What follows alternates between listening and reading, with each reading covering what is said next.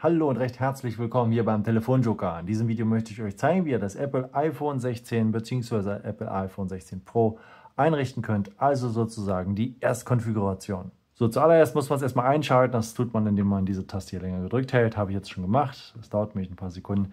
Dann werdet ihr, wenn ihr eine SIM-Karte bereits eingelegt habt, halt nach der PIN gefragt von der SIM-Karte. Wenn ihr die eingegeben habt, werdet ihr danach hier in diversen Sprachen willkommen geheißen.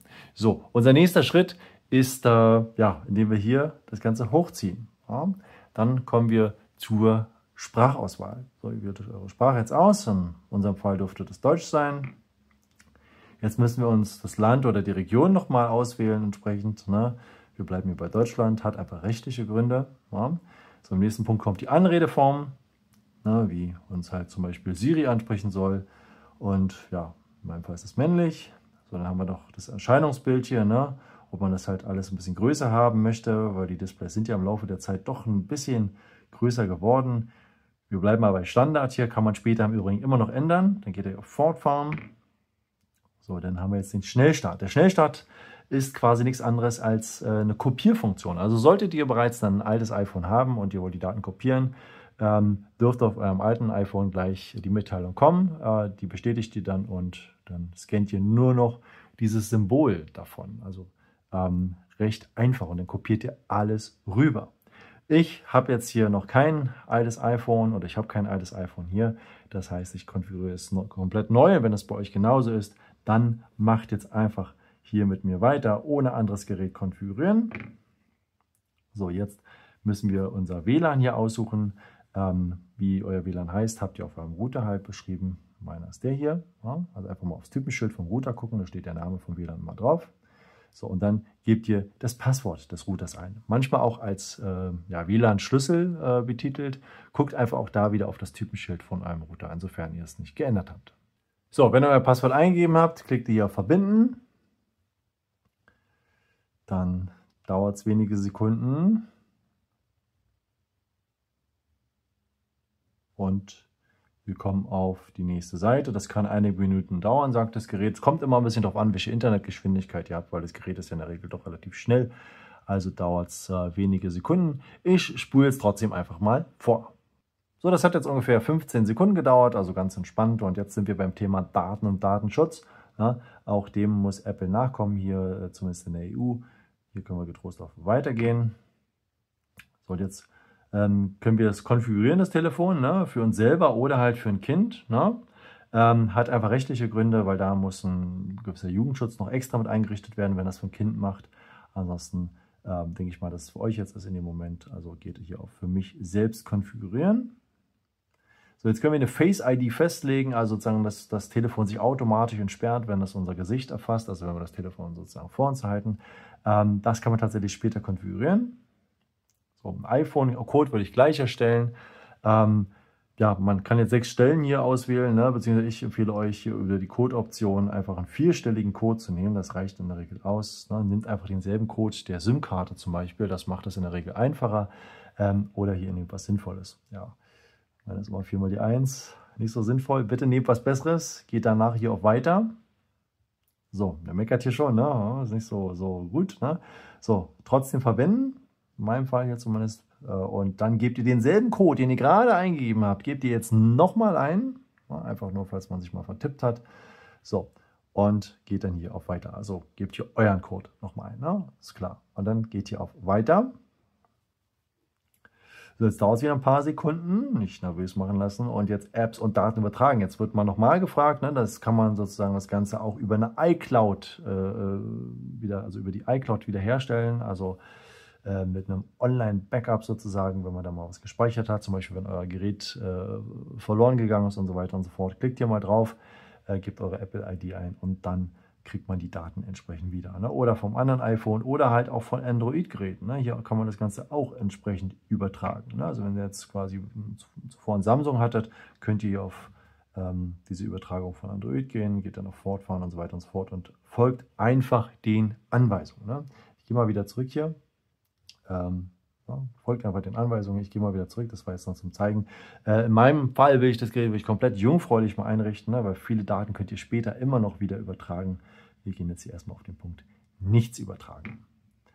Okay, Jetzt, ganz wichtig, wir müssen den Apple-Account eingeben. Äh, ohne den geht nichts, dann, sonst können wir halt keine Apps und so weiter runterladen, also sowas wie WhatsApp und so weiter und so fort. Also wir brauchen einen Apple-Account. Wenn ihr bereits einen habt, dann gebt ihn jetzt ein. Ansonsten könnt ihr halt hier ähm, über den Punkt hier einen neuen Apple-Account erstellen. So, ich habe bereits einen, deshalb gebe ich den hier mal ein. So, wer es eingegeben hat, geht auf Fortfahren. So, jetzt müsst ihr das Passwort dazu eingeben. So, wenn ihr fertig seid, klickt da hier auf Fortfahren. Und dann will Apple nochmal auf Nummer sicher gehen und schickt einen Code an euer anderes Apple-Gerät, so den ihr dann hier eingeben müsst. Ne? Kommt direkt auf dem Display gleich und dann äh, schreibt dann nur den Code hier entsprechend ab und dann seid ihr weiter. Solltet ihr quasi kein Apple-Gerät haben, weil ihr das zum Beispiel verloren habt gerade, na, kann ja auch passieren, na, dann geht ihr auf keinen Code erhalten. So, und dann quasi kriegt man eine SMS, na, also hier Textnachricht an so und so schicken, na, klickt er dann drauf hier. Und ich habe jetzt sozusagen hier bei mir eine SMS bekommen. Ja. So, hier ist jetzt meine SMS mit meinem Code. Ja. Bitte nehmt euren Code, ja. Und den gebe ich jetzt hier mal ein. Okay, dann geht es halt weiter. So, jetzt erkennt er mich hier. Jetzt muss man natürlich den allgemeinen Geschäftsbedingungen, also den AGBs, zustimmen. Ohne die geht es nicht. Geht dafür hier auf Akzeptieren. Wenn er es ablehnt, dann könnt ihr das Gerät gar nicht benutzen. Ne? So, jetzt meldet ihr das Ganze an und gibt uns noch eine lustige Animation hier. Und ja, dann sollten wir gleich zum nächsten Punkt kommen. So, ein bisschen Produktwerbung hier. Ne?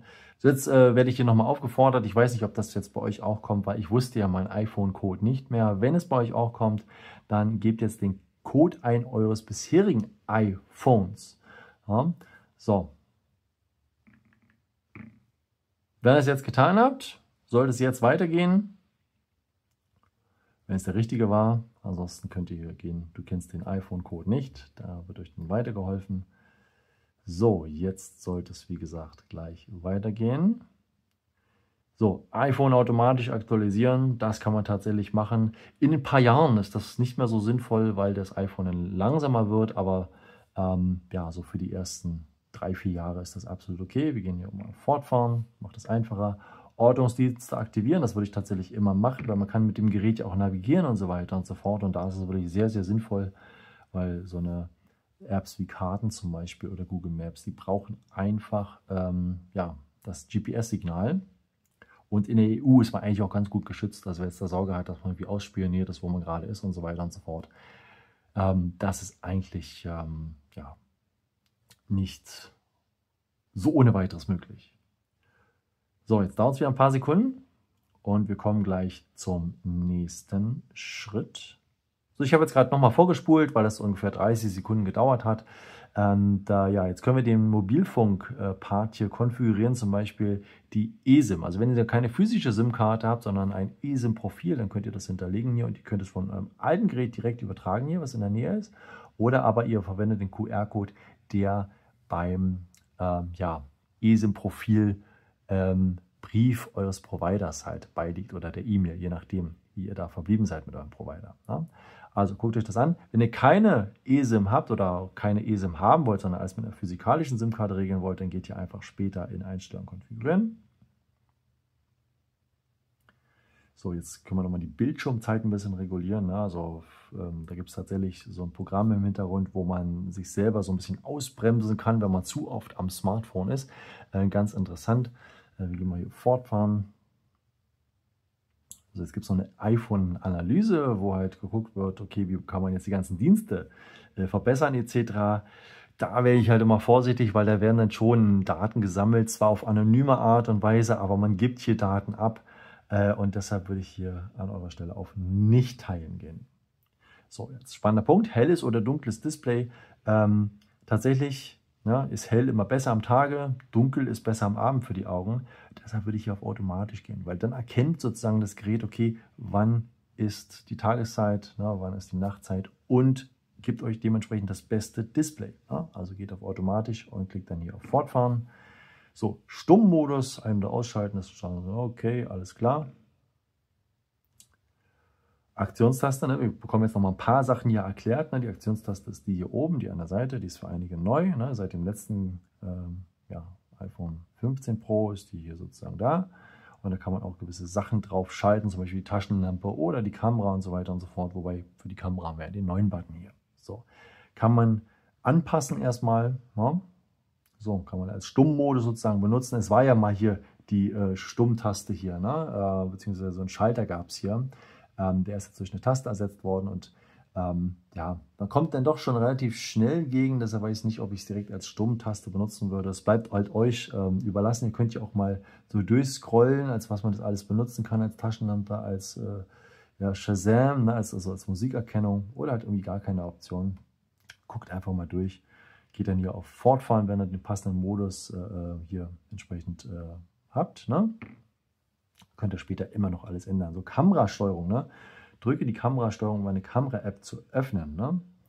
Fortfahren, so die Kamerasteuerung ist sozusagen jetzt dieser Button hier, der ist relativ neu, ne? der wird uns jetzt hier so ein bisschen erklärt.